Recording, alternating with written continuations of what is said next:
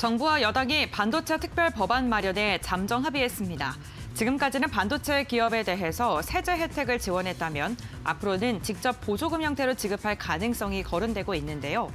여기에 최근 광노정 SK하이닉스 최고 경영자는 고대역폭 메모리 등 인공지능 관련 메모리 반도체 업황에 대해 내년에도 괜찮을 것이라고 내다본 만큼 AI 시장 확대와 정부 지원으로 국내 반도체주들의 앞으로도 기대되고 있는 상황입니다.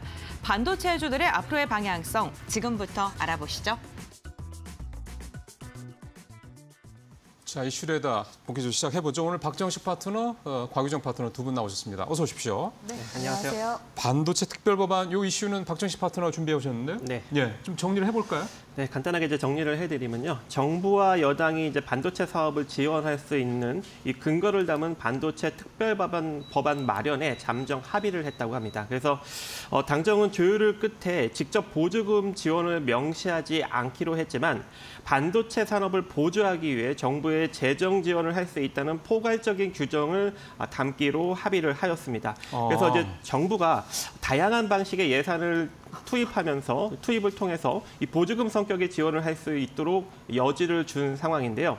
어, 정부와 여당은 이제 재정을 지원할 수 있다는 근거 조항을 이제 앞으로 마련하기로 했고 보조금 직접 지원이 아닌 포괄적인 재정 지원 조항을 넣는 것으로 합의를 한 상황입니다. 어, 원래 이제 여당은 이제 보조금을 직접적으로 지급해야 한다는 입장이었고 정부 같은 경우에는 금융 지원 세제 혜- 세제 공제 방식으로도 충분하다는 입장이었습니다. 하지만 뭐 이제 이런 것들을 이제 어느 정도 합의를 거치면서 예. 지금 당장은 하지 않더라도 반도체 특별법에 이 직접 보조금 지급을 위한 근거 조항이라도 우선 담고 구체적인 지원 대상과 규모는 새로 설치될 대통령 직속 반도체 산업 특별위원회에 맡기자는 입장입니다. 그래서 어, 재정 부담을 덜기 위해 일단 뭐 중소 중견 기업을 우선적으로 먼저 지원을 하고 여력이 된다면 이 대기업에도 보조금을 지원할 가능성을 좀 열어두자. 예. 자 이런 식으로 현재 이제 합의를 하였기 때문에 이제 이런 이슈가 나오면서 어제 이 기관의 강력한 어, 순매수가 반도체 쪽에 유입이 됐고 뒤늦게 이제 외국 인까지 동참을 하면서 긍정적인 수급이 이제 유입이 되고 있는데요.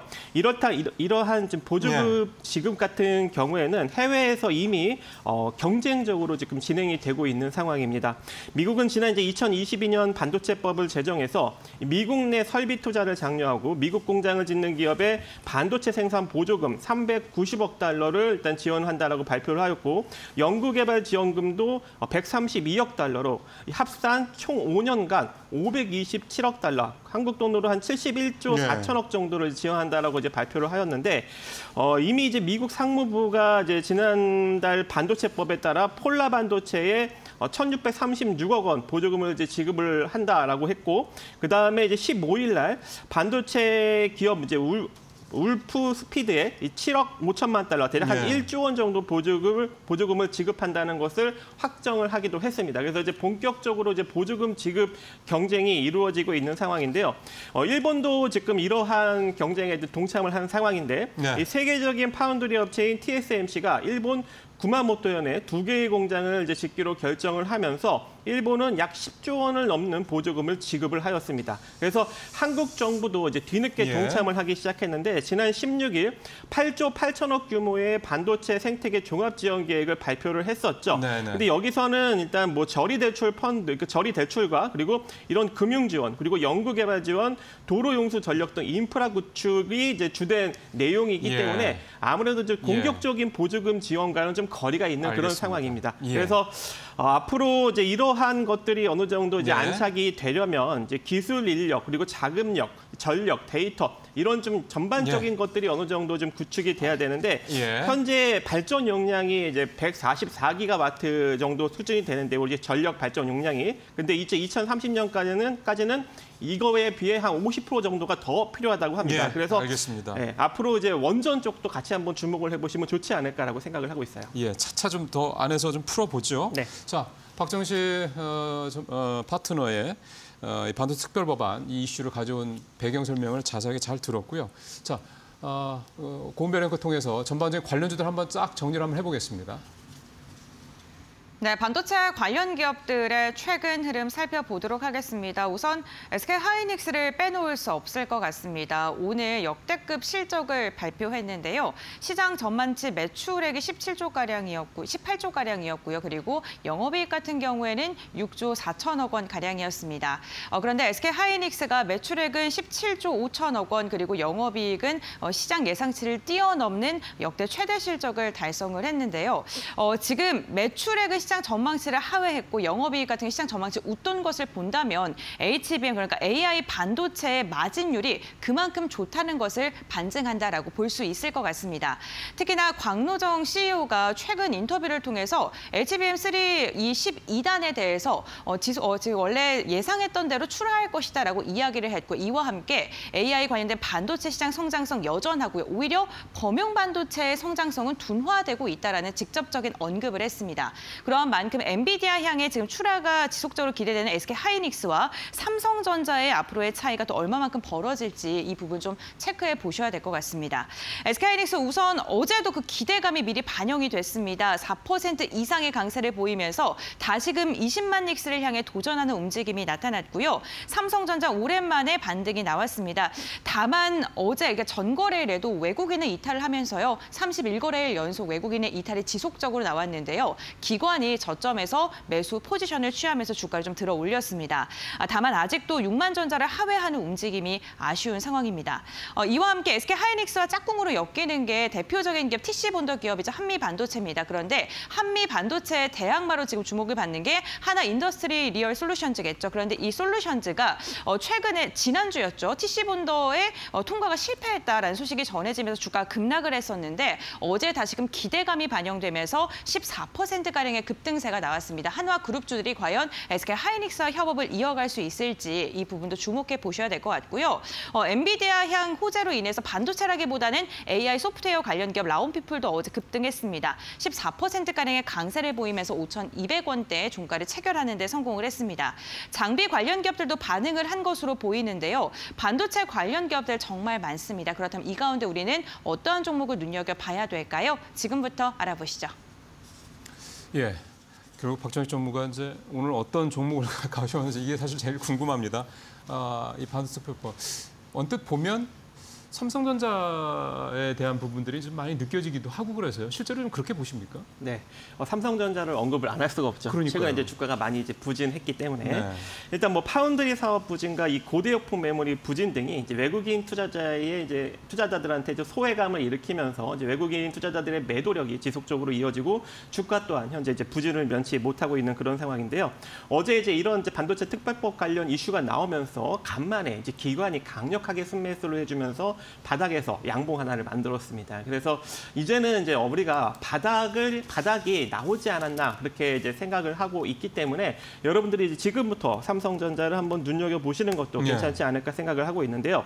일단 지금 HBM4 즉 6세대 이제 고대역폭 메모리로 넘어가면서 이제 이셋이 메모리가 이제 2026 26년부터 이제 상용화가 될 수 있는 가능성이 존재하는데 여기로 넘어가면은 이제 파운드리와 이제 메모리 그리고 패키지 까지 일괄 서비스하는 어떤 어, 이런 삼성전자의 우위적인 측면이 어, 충분히 이제 부각을 받을 수 있는 여력이 있다라고 생각을 하고 있습니다. 그래서 앞으로 이제 삼성전자는 이제 2025년부터 이제 이러한 것들이 어느 정도 어, 시장에 어, 좀 부각을 받으면서 주가가 이제 우상향으로 갈 수 있는 가능성이 있기 때문에 아무래도 지금부터 우리가 관심을 가져볼 필요성이 있을 것 같고 지난 2022년이었죠. 이때 이제 어, 반도체 관련 종목들이 상당히 좀 부진한 예, 예. 측면이 있었는데 이때 이제 이때도 한 10월 정도에 저점을 다지고 그 다음 해로 넘어가면서 주가의 상승력이 강력하게 나왔던 적이 있습니다. 그래서 어, 이번에도 마찬가지로 올 10월에 저점을 좀 형성을 한 다음에 내년부터 본격적으로 부각을 받을 수 있는 가능성이 있지 않을까 생각을 해보는데요. 일단 바- 어, 삼성전자가 지금 현재 기, 기술적으로 내, 내세우고 있는 것이 이 gate all around 방식인데요. GAA라는 방식인데 이것이 이제 어, 2나노 공정으로 이제 넘어가면서 본격적으로 더욱더 부각을 받을 수밖에 없을 것 같아요. 왜냐하면 기존의 이제 FinFET 기술을 구사한 이제 TSMC도 이제 2나노 공정부터는 이 GAA 방식으로 넘어간다라고 지금 발표를 한 상황이기 때문에 예. 이미 이제 삼성전자 같은 경우에는 3나노부터 이 기술을 적용해서 아무래도 이제 2나노 공정으로 넘어가면 TSMC보다 훨씬 수율적으로 우위를 점하지 않을까 그렇게 생각을 하고 있는 상황입니다.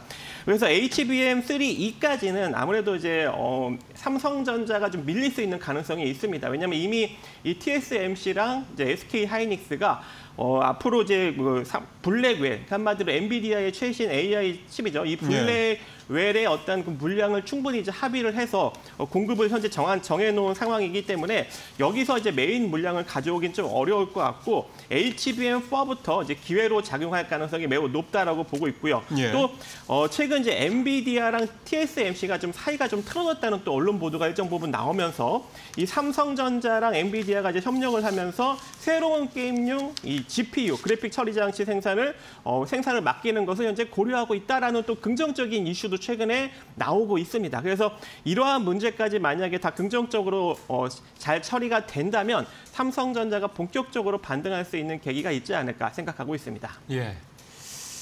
에, 반도체 이 특별법 사실은 이제 결국 이제 직접 보조금을 주느냐 마느냐 이게 가장 큰 화두인데 어, 뭔가 그런 우회로를 좀 만들었다라는 게 가장 어, 눈에 띄는 내용이 됐는데 이제 우리 박정식 전문가는 어, 삼성전자를 어, 가장 혜택을 볼 수 있을 만한 관심주로 말씀을 하셨습니다. 자, 곽유정 파트너는 어떤 거 생각이 드셨어요? 네, 저는 반도체 후공정 관련주 음. 가지고 왔는데요. 3분기 실적 발표도 나오고 어, 실제로 이제 회복세가 나오고 예. 있는 모습이 어, 재무적으로 좀 보였기 때문에 가지고 온 기업이라고 볼 수 있을 것 같습니다. 테크윙 가지고 예, 왔습니다. 예. 자, 테크윙 이제 기업적인 분석 잠깐 한번 보도록 할 텐데요. 네.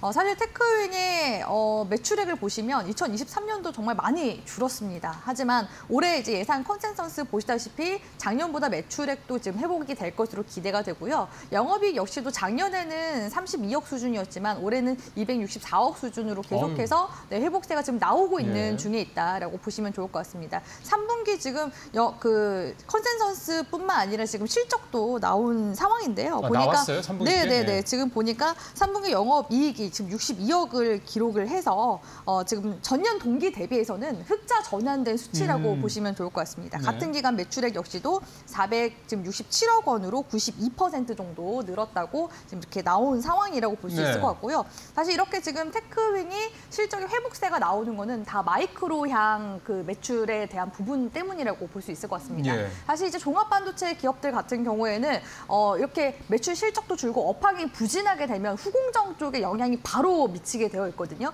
근데 그럼에도 불구하고 마이크론 쪽이랑 지금 지난 8월 달에도 또다시 이제 계약을 맺고 맺고 이제 검사 장비를 계속해서 좀 지금 공급을 하고 있는 단계이기 때문에 마이크론 테크놀로지 네, 맞습니다. 거죠? 그래서 2분기도 지금 영업이익 증가율이 한 192% 음. 정도 됐는데 3분기에는 이익 증가율이 지금 이제 1000% 정도가 이제 가까이 됐다라고 이제 보시면 좋을 것 같고요. 어, 지금 이제 어, 테크윙 같은 경우에는 모멘텀도 지금 있는 상황이라고 볼 수 있는 게 지금 뭐 메모리 handler 어, 검사 장비를 주력으로 만들고 있지만 향후에 지금 AI와 HBM을 겨냥한 cu- cube prober라는 장비를 만들고 있는데 예. 4분기에 원래 이제 납품 예정입니다. 그래서 이게 이 뭐예요? 관련 소식이 이- 이게 검사 장비거든요. 아? HBM 네, 음. 관련해서 검사하는 그 장비라고 보시면 좋을 것 같은데 이게 4분기 경에 이제 납품을 지금 예상하고 있다. 증권가 쪽에서 예상하고 있다라고 하고 있습니다. 그래서 네. 관련 소식이 나오는지 한번 보셔야 될 것 같고요. 지금 다른 HBM 제조사 관련해서도 두 곳과 지금 큐브 프로보 도입을 지금 협의하고 있는 단계라고 하니까